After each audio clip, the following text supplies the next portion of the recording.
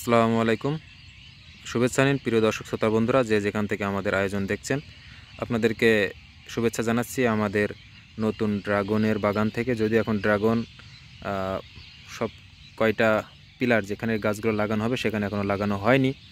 এটা প্রক্রিয়াধীন রয়েছে। তো যে বিষয়টা নিয়ে সামনে এসেছি সেটা হলো, এই সমস্ত ড্রাগন বাগানে কিন্তু সাথী ফসল হিসাবে ক্ষীরা বা শশা এগুলো লাগানো হয়েছে। সাথে কিছু তরমুজ কিছু সাম্মাম বা রকমেলন আছে, তো সেগুলো আপনাদেরকে দেখানোর চেষ্টা করছি। এগুলো লাগানো মূলত এখান থেকে প্রায় তিন থেকে চার দিন আগে ইতিমধ্যে কিন্তু সেগুলোর চারা বের হয়ে গেছে, দেখতে পাচ্ছেন।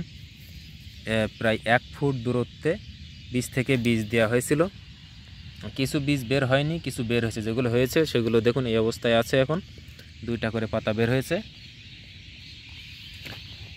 এভাবে এখান থেকে সাত থেকে আটটা লাইন হচ্ছে শশা।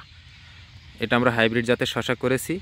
আর ওই কর্নারের দিকে, ওদিকে হচ্ছে দেশি ক্ষীরা। এবং আমার ডান দিকে এখানে হচ্ছে তরমুজ। এই যে দেখতে পাচ্ছেন, এটা হচ্ছে যে বড় জাতের যে তরমুজ যেটা মাটিতে হয়, সেটা। এখানে সব চারা বের হয়ে আছে। এই যেগুলো বের হচ্ছে, এটার লাগানো এখান থেকে তিন দিন থেকে চার দিন আগে।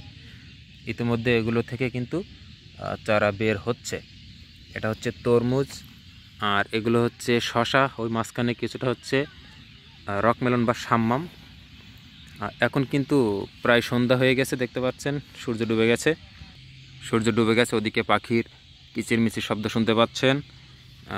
চারাগুলো আমার এখানে আছে।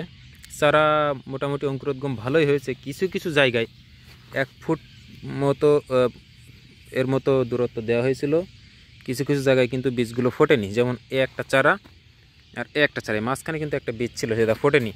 এদিকে এই চারার পরের বীজটা কিন্তু ফুটে গেছে একটা, এদিকে দেখতে পাচ্ছেন একটা, এদিকে একটা। এইভাবে এটা প্রায় তিরিশ শতকের মতো জমি, ড্রাগন বাগান। ড্রাগনের পিলার হিসাব করেই কিন্তু এটার নালাটা কেটে সেইভাবেই সাথী ফসল হিসাবে ক্ষীরা লাগানো বা শশা লাগানো, যার জন্য একটু পাতলা হয়ে যাবে। অর্থাৎ অন্যান্য ভুঁইতে, জমিতে যেমন হয়, তার সাথে একটু কম বীজ এখানে ধরবে। আর এই হচ্ছে আমাদের বর্তমান জমির অবস্থা। দেখতে পাচ্ছেন। এই দিকটাতে এই দিকটাতে হচ্ছে আমার দেশি জাতের ক্ষীরা লাগানো, যেটা আগামী আসছে রমজান মাসে, সেটা বাজার উঠবে বলে আশা করি। আর সমস্ত জমিটা কিন্তু এভাবে ফেন্সিং করা, অর্থাৎ বেড়া দিয়ে ঘিরে দেওয়া, দেখতে পাচ্ছেন এভাবে। এদিকে হচ্ছে আমাদের পানির লাইন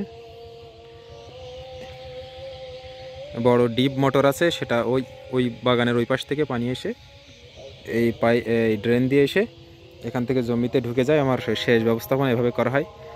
এই যেখানে কাটা তার দিয়ে ভবিষ্যতে ঘেরা যাবে। তো দর্শক, আজকে এ পর্যন্তই। আজান হয়ে গেছে। সবাই ভালো থাকবেন। আসসালামু আলাইকুম।